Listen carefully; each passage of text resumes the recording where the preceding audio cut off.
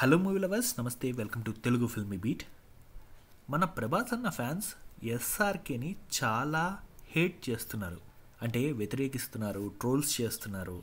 ఎందుకు ఏంటి ఈ మ్యాటర్ అంటే మీకు పూర్తిగా అర్థమవుతుంది. డిసెంబర్ ఇరవై ఒకటో తారీఖున డంకీ మూవీ రిలీజ్ అయింది. అది పాన్ ఇండియా మూవీ కాదు హిందీ మూవీ చాలా ఏరియాల్లో హిందీలోనే స్ట్రైట్గా రిలీజ్ అయింది.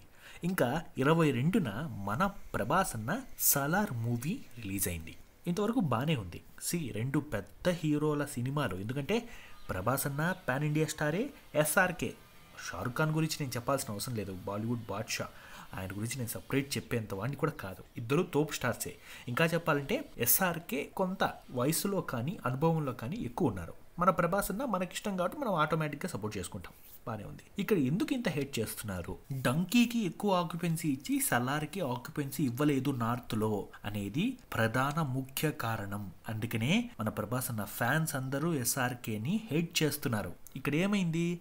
ఎస్ఆర్కేకి ఉన్న క్రేజ్ని బట్టి నార్త్లో ఎక్కువ థియేటర్స్ ఇవ్వలేదు మన ప్రభాస్ అన్న సినిమా సలార్కి. అందుకని ఫ్యాన్స్కి విపరీతమైన కోపం. అట్ ద సేమ్ టైం ఎందుకు ట్రోల్స్ చేస్తున్నారు? థియేటర్ల ఆక్యుపెన్సీ ఇవ్వకపోయినా నార్త్ ఆడియన్స్ ఎవరికి ఓట్ వేశారు సలార్ మూవీకి. దీన్ని బట్టి అర్థం ఏంటండి? ఎస్ఆర్కే గారు మీరు మాకు థియేటర్స్ ఇచ్చినా ఇవ్వకపోయినా మా ప్రభాస్ అన్న సినిమా ఎక్కడున్నా ఆడేస్తుంది అందరినీ రూల్ చేస్తుంది అన్నిట్లో హై ఉంటుందని ఫ్యాన్స్ అందరూ ఫుల్ జోష్లో ఉన్నారు? అందుకనే అందుకనే ఎస్ఆర్కే షారుఖ్ ఖాన్ గారిని ఫుల్ ట్రోల్ చేస్తున్నారు. దీంట్లో ఏంటి మ్యాటర్? థియేటర్ల అడ్జస్ట్మెంట్ అవ్వలేదా? లేదా అక్కడ ఉన్న ప్రొడ్యూసర్లు డిస్ట్రిబ్యూటర్స్ అంటే ప్రొడ్యూసర్ అంటే గౌరీ ఖాన్ గారే షారుఖ్ ఖాన్ గారి వైఫ్.